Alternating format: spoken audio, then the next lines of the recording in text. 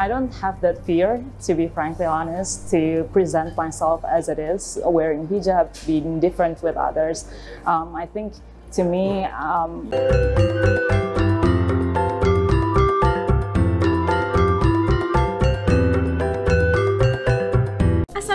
Assalamualaikum semuanya Selamat kembali ke channel ini. Kepada kalian semua yang sentiasa bantu, support dan dukung us juga channel ini Jutaan terima kasih yang ucapkan okay? Kepada yang baru Jangan lupa bantu dengan tekan butang subscribe Dan subscribe itu gratis saja geng.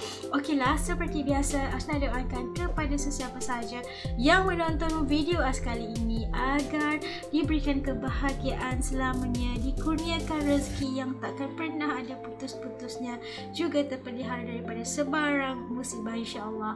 Amin. Okay lah hari ni Azna react lagi satu video daripada channel BOA Indonesia. Ok jangan lupa untuk bantu subscribe. Dengan judulnya Engineer Berhijab berasal dari Indonesia bekerja di SpaceX ha, wow kan nak tengok siapa dan bagaimana jom ikut react Okey, udah siap semuanya. Yuk kita mula. Bismillah. Uh, honestly, not not at all. It's not something that I really target um, at the very Oh. first place, but I know for sure it's something that is really cool I to like be part of. Bekerja di SpaceX, perusahaan aerospace atau antariksa di Hawthorne, California, bukanlah target awal Arsvita Alamsyah. Namun yang pasti, diaspora muda Indonesia ini bercita-cita berkarya di bidang teknologi. As a kid, I kind of like to see how things are assembled and made.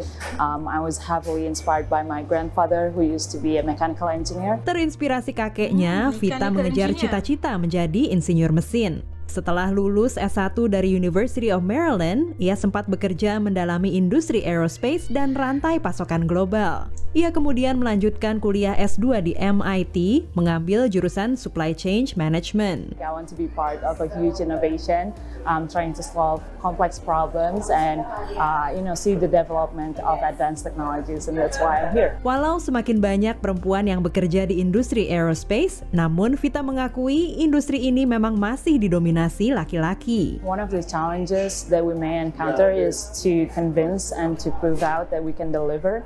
Um, so having a great confidence in ourselves um, to make sure that everything is worked equally the same as our female, uh, our male counterparts is really essential. Pendapat Vita dibenarkan oleh Diandra Sumardi, master di bidang kimia yang juga mengajar di University of Maryland. Walaupun sains Oh. sendiri menurut Diandra tak mengenal diskriminasi, yang dihadapi adalah tantangan budaya. Jadi um, wanita itu kadang-kadang kita kayak suka meragukan diri sendiri, you know. Sometimes people don't think that we can think as logically and as systematically as some of our male colleagues, which we can totally do that. Rasa percaya diri ini juga ditunjukkan Vita dalam mempresentasikan dirinya sebagai Muslim. I don't have that fear, to be frankly honest, to present myself as it is, wearing hijab, being different with others.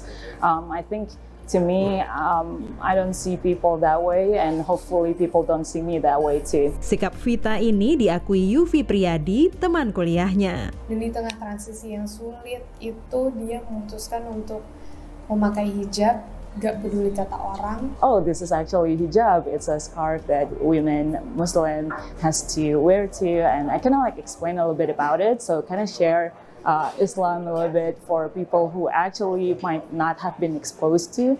And to me, like that's not offending at all. It's more like an opportunity for me to share my belief. Kuncinya menurut Vita adalah terus membangun keyakinan akan kemampuan diri. Dari Los Angeles, California, Dania Iman, Irfan Isan, Nia Iman Santoso, VOA. Kita saksikan tadi um, seorang wanita yang berasal daripada Indonesia yang bekerja dekat bukan calon-calon punya company ya dekat California sebuah uh, company ataupun syarikat uh, aerospace. Ha, iaitu uh, SpaceX okay?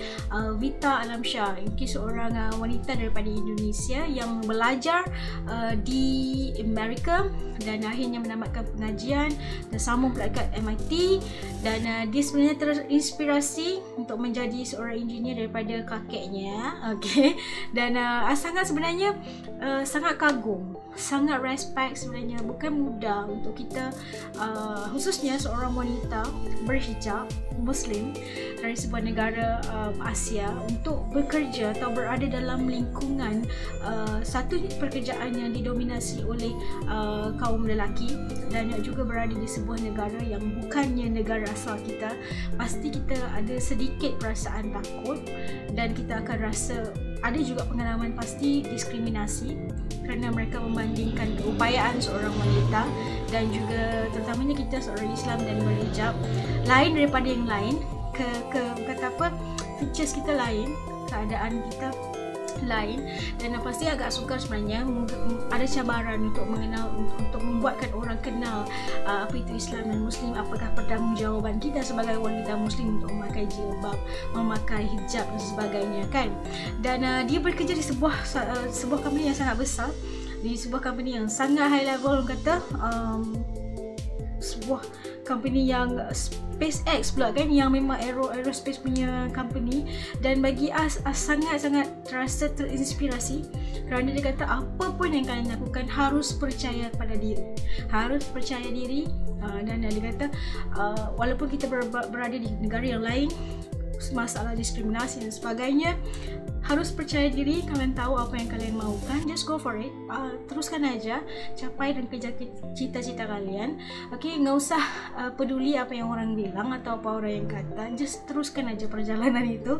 Kan uh, self respect sebenarnya seorang wanita. Betul ada satu patah katakan wanita juga bisa menggegar dunia. Bukan sekadar uh, menghayun buayan tapi juga bisa mengguncang dunia. Masya Allah luar biasa. Dan sangat terinspirasi seorang wanita daripada pekerja Indonesia yang bekerja di sebuah syarikat di California, Amerika pasti menjadi inspirasi kepada anak-anak muda. Semoga ramai yang mengikut jejak beliau untuk mempunyai keyakinan tinggi, yang tinggi, mau kita percaya diri yang tinggi, harus tahu apa yang kalian mahukan dan terus berjuang untuk mendapatkan cita-cita dan mencapai apa juga impian kalian di hadapan. Kita doakan agar dia sentiasa berjaya, sentiasa dalam lindungan Tuhan dan menemukan apa yang diimpikan dan sentiasa terpelihara insya-Allah. Amin. Okey, sampai kat sini dulu video reaction Asundul kali ini. Kepada kalian telah menonton sampai habis, jutaan terima kasih ucapkan. Kepada yang baru jangan lupa bantu dan tekan butang subscribe, like, komen dan share juga video ini. Kalian harus bangga kerana rakyat Indonesia sudah berada di Amerika dan bekerja di uh, bukan saja yang kata company yang biasa-biasa tapi company yang berprestij tinggi dan berprofil tinggi. Masya Allah luar biasa. Kita doakan kejayaan beliau. Sampai jumpa lagi insyaAllah Assalamualaikum. Bye semuanya